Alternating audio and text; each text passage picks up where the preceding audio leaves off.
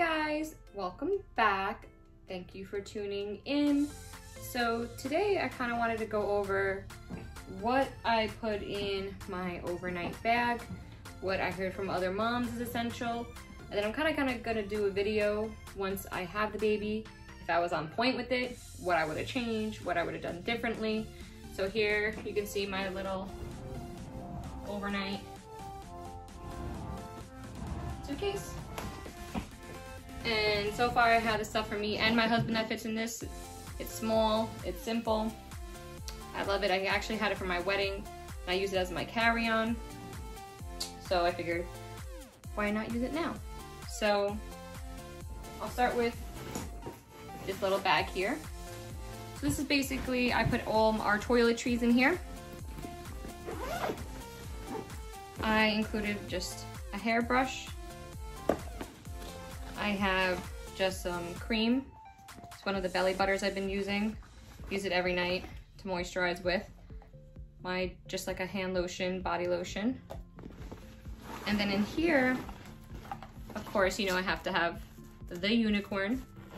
It's just your simple, I have my contacts, shampoo, conditioner. I also brought like a little mousse, little travel size thing of mousse for my hair. Let's see what else. My contacts, like I said, Q-tips, toothbrush for us, toothpaste is in here. I also packed like like a light tinted moisturizer, a thing of mascara, because, you know, I mean, I'm probably not gonna happen, but I'm gonna try to take some pictures at the hospital with the baby and me and my husband. So, so I don't look like a complete bag of crap. I put that stuff in here. That up. Right into this bag. I also included like one or two extra pads. I know they're gonna give them to you um, at the hospital, but there's ones that you feel more comfortable with. I do have these overnight thick pads that I put in a few of these in here. That's really it for this. And now, oh, forgot to put these in there. Okay. Toothpaste, like I said. Small toiletries. With this, from what I understood from my other moms, um, more is less. I mean, less is more. Sorry, take it back. Less is more. So, again, I try to keep it as simple as possible for me and my husband. So, all right. Now in here, front little pockets, I have a, a robe and a pair of comfy slippers. I'm probably honestly gonna go there. I have an outfit sitting right there ready. I'm anal, I have OCD. I guess I started early, but an outfit that I would like to put on to go to the hospital in so that it's ready. The pair of comfy pants, a nursing bra, and a t-shirt. And then I, I would like to wear my Adidas slides that I've been wearing my entire pregnancy. It's the only thing that doesn't make my feet hurt or if I'm standing for a while. So, yeah.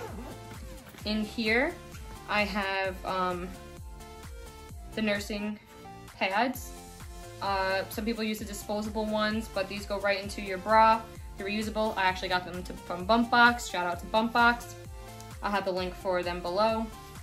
They go right into your bra and help you with leaking. I just have a chapstick, a headband for my hair, and that's really it in this bag. Oh, hydration packet. That's actually from my wedding. I don't know why this is still in here, but just, you know, a headband or two for, you know, hold your hair back. Put that back in there. Okay. Now, for here, I'm gonna be able to open this. There we go.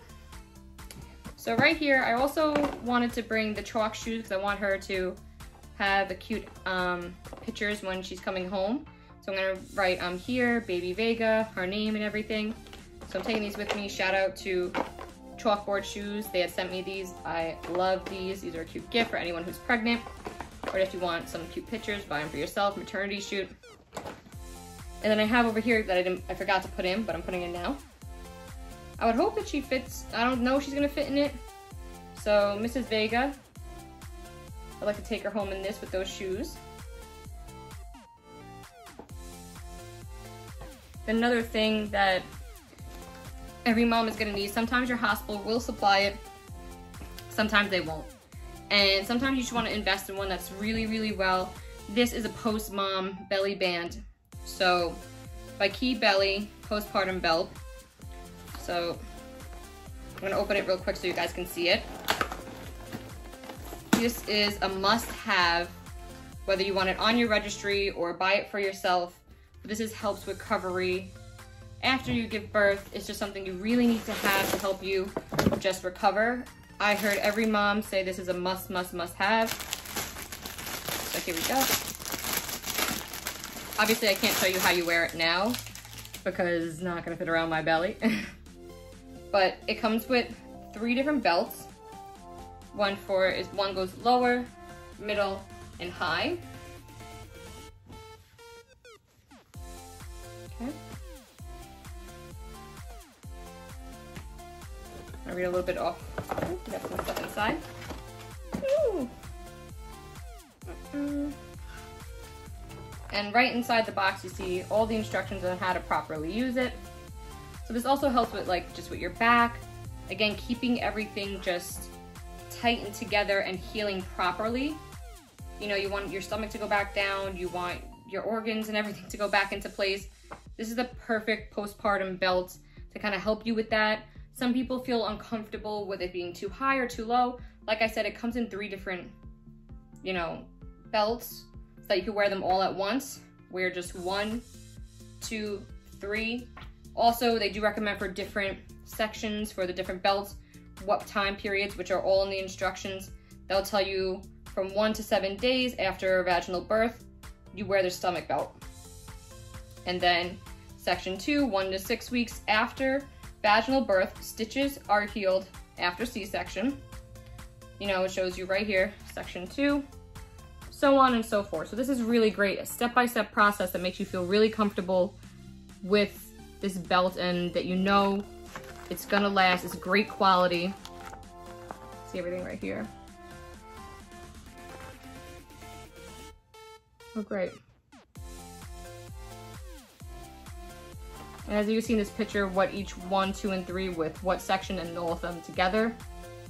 This is just something you really, really, really want to invest in.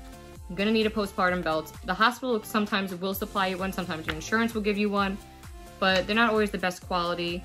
So I really wanted to invest with a, um, with one myself. So KeaBabies, ooh, that just dropped. KeaBabies, Key Belly Postpartum. Once again, I'm gonna have the link below. This is fantastic. It's good for, like I said, postpartum recovery, C-section, and vaginal birth. So some belts aren't that great for C-sections, and vice versa. So again, I'll have the link below with all the information. Ladies, the must have. So this is coming with me. Now, on to the rest of it. Now, I have in here a pair of button-down pajamas for, you know, the overnight or just to be comfortable in. I have a little washcloth to wash our face or body with while we're at the hospital if we need to. Here, a pair of biker shorts, loose fitting. I did the Our Maternity. I don't know how much my belly is gonna shrink. That's another thing I'm concerned about. So I brought these to come home in. They're super loose fitting. I feel like it's still gonna be warm. It's gonna be September. So I packed these in there. I got my nursing bra. I have a pair of socks for my husband a pair of underwear for my husband, and a tank top for him to change into. Put that back. I put a pair of pants in there for him, a t-shirt for him. I have a sweatshirt for him right here, because I don't know how cold it'll be in the hospital. Simple sweater for me, because I, again, I don't know how cold it's gonna be in the hospital right now. I'm constantly sweating, so. I have a t-shirt in there to go home in. Put that right in there. A pair of nice comfortable socks. And then I have right here a few pairs, oh, and don't forget, a pair of underwear that's comfortable in for after birth. So that goes right in here. And again, I'm not packing ample amount of stuff because my hospital only allows you to stay for 24 hours right now. So I don't know what your hospital does. You may be staying for two days, three days, four days. You don't know due to coronavirus. My hospital is if you have a vaginal birth, you are there for only 24 hours. If you are there, if you have a C-section, you are there for 48 hours. So again, I'm gonna put an, maybe put an extra t-shirt in here, find an extra pair of underwear just in case I do have a C-section. I'm not planning on it, so we'll go from there. Here, I packed a few different outfits just in case. I don't know how big she's gonna be when she comes home. So I have a newborn outfit. I have um, just a plain onesie, zero to three months. Cause I thought it would look, super tiny, cause this is also zero to three months, like how big this thing is. So I don't know. And a pair of socks for her. I put two just in case. Little mittens. And headband to go with her outfit. And then just two hats. Because I said it's cold in there. So, again, I think I did pack too much now that I'm going through it. But, it happens. So I put, I don't know how cold or hot it's gonna be at that time too. So that's why I have one long sleeve newborn. And then I have a short sleeve newborn for her.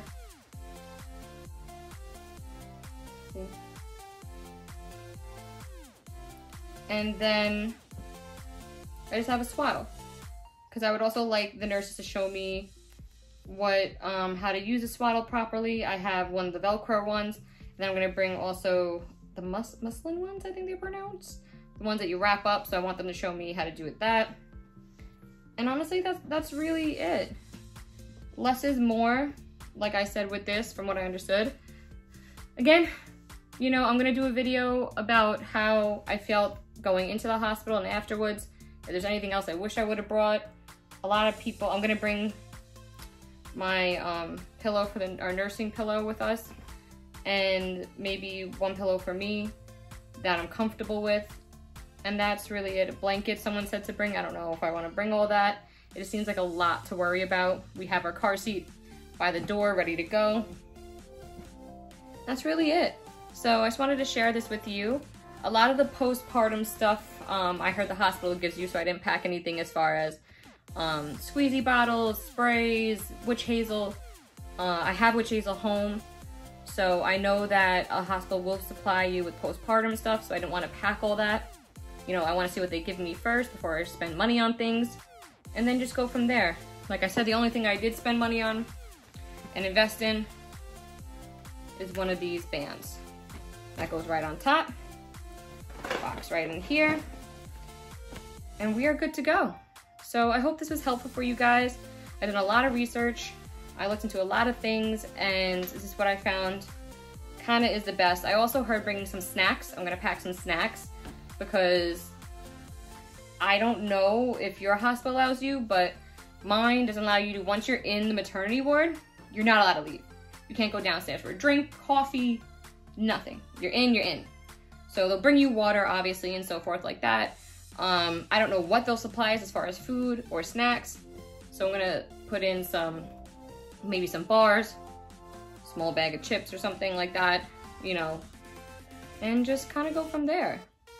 Otherwise, that's it. I'm trying to keep it simple. So if anyone else has anything that you think I should add, comment below. And that's really it. And thank you guys so much for tuning in, for watching with me. Subscribe, you know the deal. My Instagram, everything below. I'll have a link for this too as well. And guys, Stay safe out there and good luck. Bye.